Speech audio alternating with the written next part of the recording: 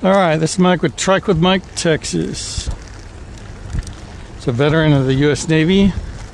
Was on a submarine during the Cold War. Time to time, I'll tell you a sea story. All right.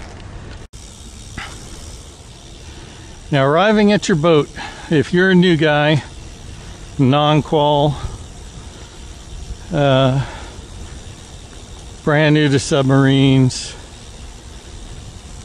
and not a nuclear powered guy. All right. Or not some guy that somehow got some shore duty first and comes in as an E5. So, pretty much everybody, though. It's just that's a rare occasion. Uh, you fall into that category, non nuke and and uh, hey, non-nuke and uh, you know forward per person, E4 and below, you belong to the COB. Doesn't matter you're sonar guy or a torpedo man or a quartermaster or ET or fire control, machinist mate. When you first get there, you belong to the COB. Now, depending on the needs, uh, your time might be more limited than other people's time. Uh, just depends on how short the department is. But either way, you're still going to have some time with the COB. And so that happened to me. I don't remember. It was probably about three or four months total. Part of it at sea and part of it in port. In port, you're assigned to deck division, which is the COB's division.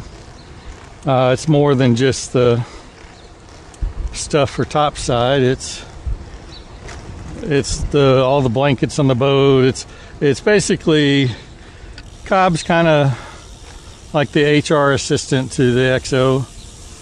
Uh, so all your bunk spaces, your pillows, your blankets, your bunks, everything's assigned by the COB. So but he also assigns you uh, you know the work so you know for his stuff it's you know make sure the ship is in ship shape that the uh, top side is painted and where it needs to be painted and it uh,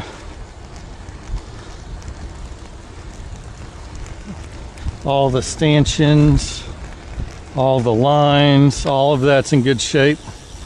If not, you let him know, he'll look at them, and he'll either tell you uh, that's fine, or he'll tell you to, uh, you know, let's order a new one.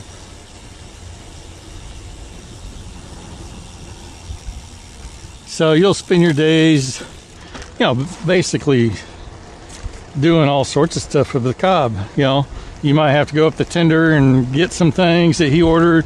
You may have to take a requisition up there. You may have to chip chip paint on the boat for a while. And the, when you ferry first get there, that's what you're going to get to do. Chip paint, paint, chip paint, paint. But after a couple of weeks of that, not very long. Uh, somebody else comes in, and lo and behold, you have graduated from paint chipper person to run around and get stuff for the COB person, which is an upgrade. So you'll do that. And when you go out to sea, you're going to be a mess cook.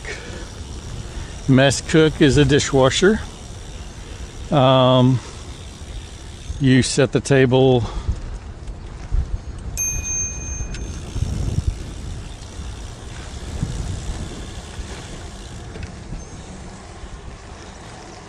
Well, it's so nice out today.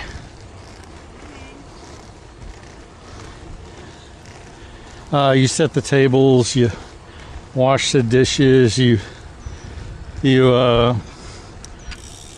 deliver the food. It comes family style, so basically, if it's hamburgers and French fries day, you'll have a bowl of French fries and a plate of hamburgers. You drop it on a table of four. It's gone in two seconds. They hand you back the plate and the bowl, and you fill it up again. So but then you know, you're doing the dishes, and not the cook's dishes. The cook does his own dishes. So any pots and pans, those are his. But you have the, you know, plates that everybody uses, cups, plates. You have to do that. And then in, in the during this whole time, you're qualifying the boat, and. Uh, you know, and COB wants to see progress every week. And so he'll he'll say you need two or three signatures this week, and uh, if you don't get it, then uh, you're on his list. It's not a good list. But if you exceed his expectations, and all right, COB, yes, COB, right I'm, I'm right on it COB. If, if that's your attitude you got it made. COB's going to like you. Coming around a person here.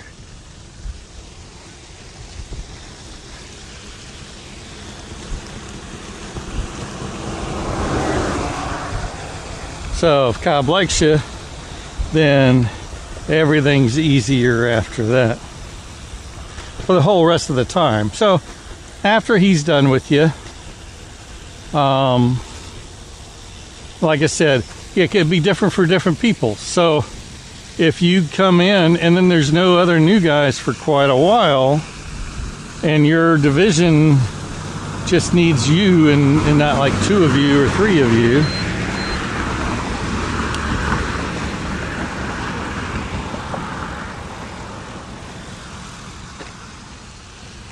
then uh, you know you'll be longer. But if you come in and there's a whole bunch of new people right behind you, and you already worked your way up a little bit, then uh, you know your time will be shorter. So it's just a luck of the draw, really. Um, and if you're an E4, you may stay less time with the COB versus if you're a E3 and then an E2 and then a E1. You know, the lower you are, the longer COB's got you.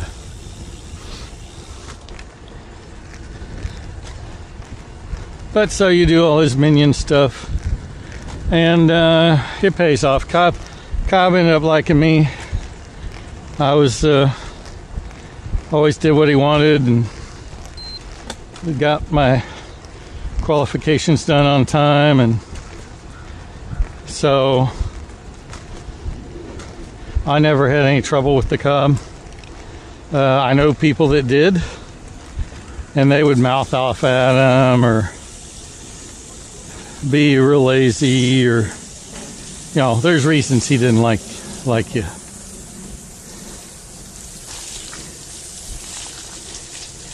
Well, this water will clean off the mud from the earlier bout.